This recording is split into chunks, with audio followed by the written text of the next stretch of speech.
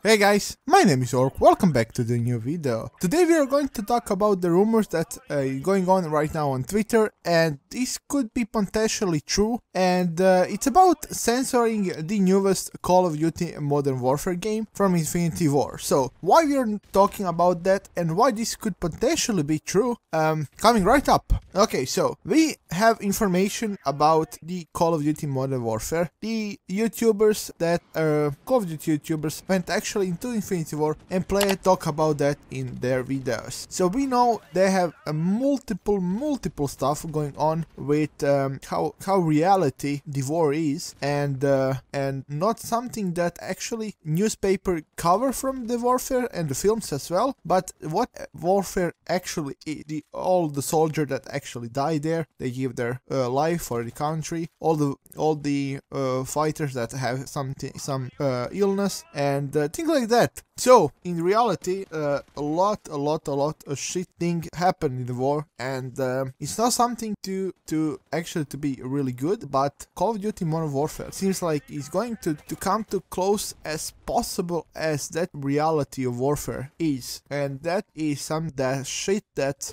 nobody want to ever see, and uh, and that's reason I think they said they're they're about rethinking about some scene and some things in Modern Warfare on the Twitter, and um, I think they're right. And uh, I got what they want to do to bring that reality to all of us, to bring the reality what actually war is. Uh, but on the other hand, I'm guessing quite a lot of country. I know that Japan, I think, is one of the country that uh, censor a lot of stuff. So I'm thinking this game will be censored or banned, if not a censor, in multiple country. And uh, and I don't I, I don't know because we didn't see a lot of the gameplay and we don't know a lot. You know, some things that are crazy on the edge of, uh, I, I don't know, reality edge of things that could go, possibly go through the censor thing. Uh, the scene with the kids uh, stabbing and kids dying and, and uh, things like that. That thing is on extreme side of thing and um, I'm guessing uh, there will be changes in censor. Of not, I'm, I'm guessing the Call of Duty will be banned in some countries in the world. And I think that's right. I, I think they don't need to change anything. I want to see the game as they planned and as they made it without any censorship. I want to have every single aspect of the game and warfare they want to bring us to, to can enjoy and see how brutal and extreme the war actually is. And that's not something that this, this state of in civilization I think should ex actually exist. Uh, but on the other hand, I, I cannot, I, I can understand why some country or some people want to change the Call of Duty uh, to be censored, but I'm guessing the rumor said they are actually thinking about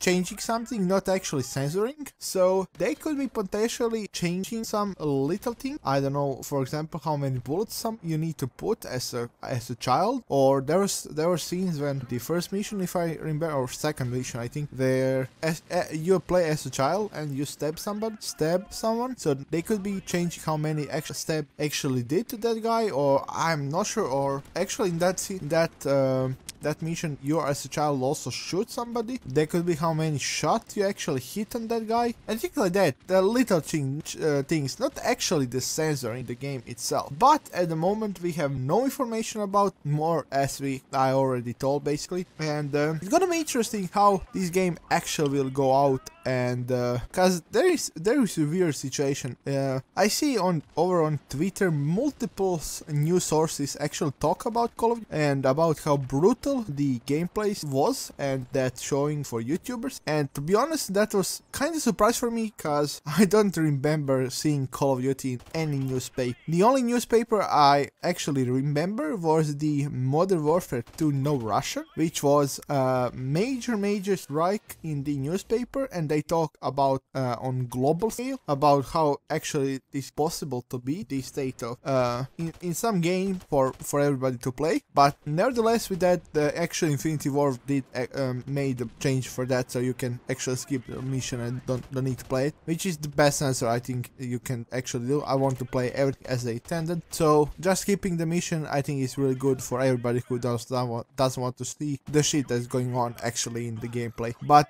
uh, without looking to that, uh, I don't remember Call of Duty ever being in newspaper, so uh, it's kind of strange in the I will say for the end of this video I'll just say um, everybody should have a free aspect of uh, speech and the developer of Call of Duty uh, we can understand like artists. So if they want to produce some art in uh, in mission like that I'm going to 100% give them all likes and support for that uh, artists can do whatever they want as they feel and on the public side is to judge that is it good not or on the other side of extreme. So thank you for watching this video. Make sure to leave a like share and subscribe. I'm back home. I was on the travel side and i have major final projects to finish in university so i'm home finally and uh, you can expect more videos from me now on. Anyway thank you for watching this and enjoy. Peace